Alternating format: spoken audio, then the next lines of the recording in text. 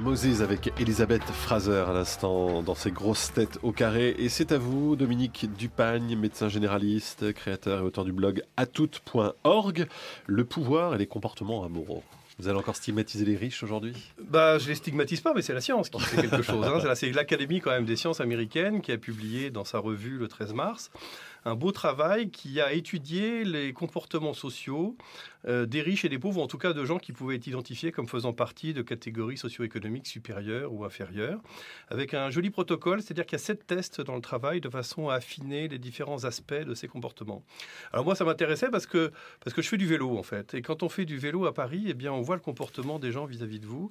Et c'est très intéressant de voir qui vous brûle la priorité, qui tente de vous un écraser. une Porsche ou euh, une en de chevaux? Moi, les gens que je crains quand je me déplace à bicyclette dans Paris, c'est les deux extrêmes. C'est-à-dire, c'est le livreur pressé sous pression qui euh, a le marteau sur la tête et qui conduit un peu comme un fou, et la grosse berline allemande qui va me passer dessus avec vraiment un aplomb et un mhm. sourire en coin tout à fait imperturbable. Vous faites du vélo, Marc aussi Parce que je vois réagir avec un enthousiasme. Je suis tout à fait d'accord sur les berlines. Donc ça, c'est le sentiment qu'on a, et donc ce sentiment que cette morale qu'on nous inculque est peut-être en effet, comme certains le disent, quelque chose qui est plus destiné mhm. à laisser les pauvres à leur place et empêcher les, justement les pauvres de gratouiller un petit peu les privilèges des mhm. riches. Cette espèce de, vieille notion qu'on a. Mais est-ce qu'il y a des preuves? Eh bien là, est-ce que dans les expériences, on a mis des gens à vélo, par exemple, ou pas? Quasiment. C'est-à-dire que parmi les sept tests qui ont été faits, il y en a déjà deux qui se passent sur la route. On dit aux gens de se rendre, on, pardon, on passe des observateurs à un carrefour, et il y a deux choses. D'abord, on observe les refus de priorité. Donc, quelles sont les voitures qui refusent la priorité? Et donc, on fait une typologie sociale à partir de la marque, du modèle de la voiture et de son âge apparent pour fixer un prix. Donc, déjà, on constate clairement que plus la voiture est grosse et chère, plus elle refuse la priorité aux gens qui viennent pourtant avec la priorité. Ensuite, on demande à des complices de s'engager sur le passage piéton pour faire mine de traverser et on regarde quelles sont les voitures qui vont s'arrêter et quelles sont les voitures qui vont forcer le passage. Et ben, là encore, il y a trois fois plus de grosses voitures qui forcent le passage. Donc, c'est en tout cas les catégories socio-économiques élevées qui posent problème. Mais ils ont été beaucoup plus loin. Ils ont fait plein de thèses dans tous les sens. Dans un autre test amusant, on demande aux gens de jouer à un jeu avec des dés sur un ordinateur et de noter leur score sur un papier. Mais en fait, l'ordinateur est truqué, on ne peut pas dépasser un certain score. Alors, qui est-ce qui prétend faire un score supérieur à celui qu'il est possible de faire? Encore les riches. C'est-à-dire qu'on ne peut pas dépasser 12, mais ils ont fait 15, ils ont fait 16. Ah, donc ils, mentent. ils, mentent. Hein. C'est-à-dire qu'ils présentent, Ils présentent leurs résultats comme meilleurs. Donc ça, c'est quand même assez extraordinaire. Il y a d'autres tests dans lesquels on va essayer de conditionner les gens. C'est-à-dire qu'on va leur dire, euh, euh, on, va, on va modifier leur perception de leur situation. Eh bien, si on prend des gens pauvres en essayant de leur, les persuader qu'ils sont riches, à ce moment-là, ils vont se comporter comme des riches. C'est ça qui est assez extraordinaire. Alors, il y a plein de tests dans tous les sens. Il y a le système où on triche au dé, il y a le système où on regarde, on fait une espèce d'entretien d'embauche et on va essayer de convaincre quelqu'un de rentrer dans une entreprise. C'est le sujet testé hein, qui fait le, le, test. Il va essayer de persuader quelqu'un de rentrer dans une entreprise qui vient, cette personne vient pour un contrat à durée indéterminée, alors qu'il sait que le job, en fait, va s'arrêter dans quelques mois. Et donc, qui va être sincère et raconter la vérité au candidat? Qui, au contraire, euh, va euh, emballer la chose de façon à le convaincre de venir pour le payer le moins possible? Encore les riches. Décidément, c'est absolument terrifiant.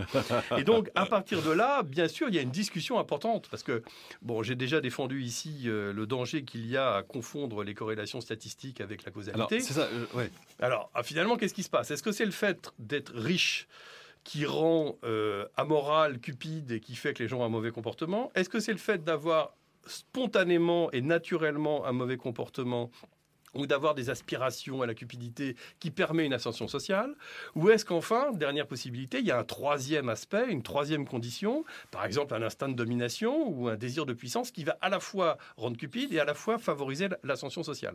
Bah, Alors ça, pour répondre là-dessus, c'est pas facile et on peut s'écharper pendant un certain temps. Bon, on va commencer avec euh, Dominique Leglu. Ah ben moi j'ai plutôt une question, mais alors euh, si je gagne au loto, je vais changer?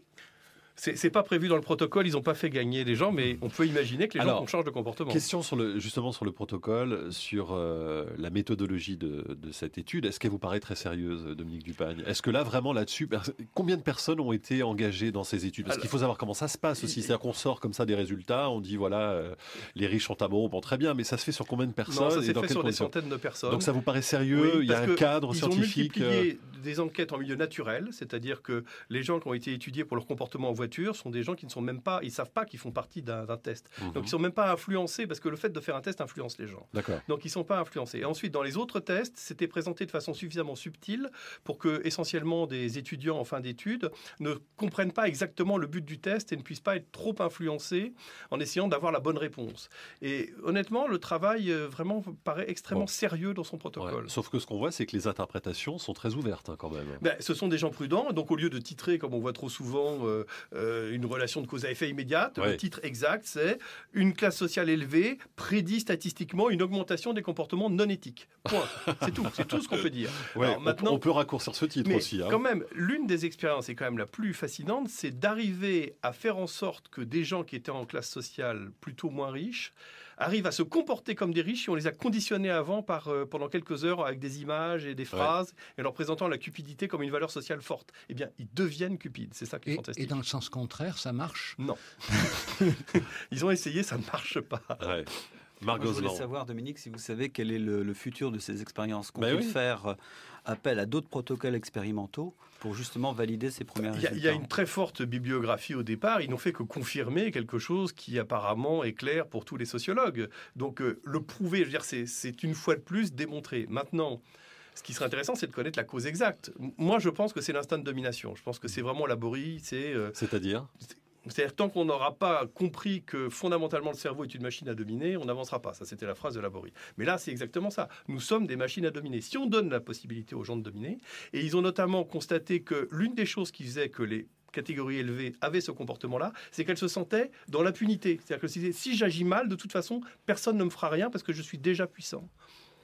Et alors, est-ce que euh, ce genre d'expérience n'est valable finalement que dans nos sociétés? Parce que quand on repense à ce qui se dit au moins sur avant le néolithique, sur le paléolithique, on a l'impression d'avoir des sociétés où il y avait finalement peut-être beaucoup moins de réflexes ou de comportements de domination. En tout cas, les restes de l'archéologie nous montrent un peu cela.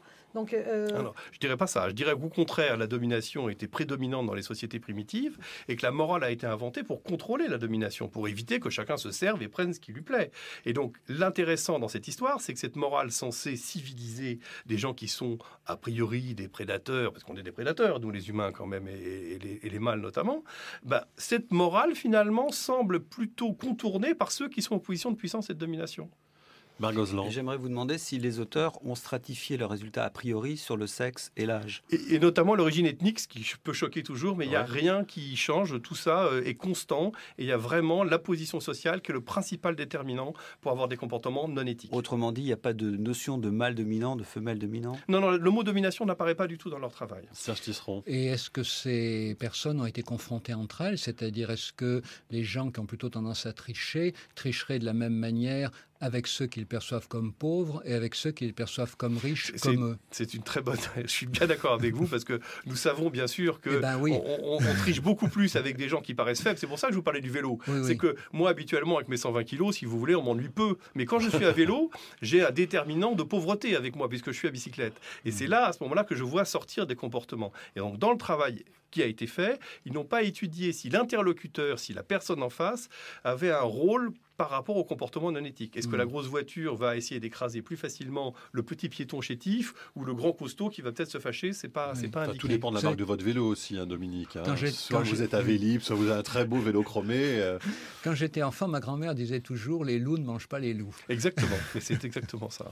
Je suis bien La d'accord, mais suite ça peut de- étudier ça. La suite de cette étude, sur quoi ça peut, ça peut déboucher? Parce que là, on est dans un contexte très particulier, effectivement, où ça n'arrive pas non plus par hasard. Je veux dire, euh, les riches, évidemment, sont montrés du doigt en ce moment un peu partout.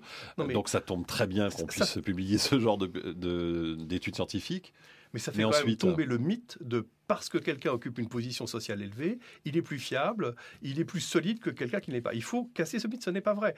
Plus les gens occupent une position sociale élevée, plus il faut s'en méfier, c'est tout. Une fois qu'on le sait, ça va.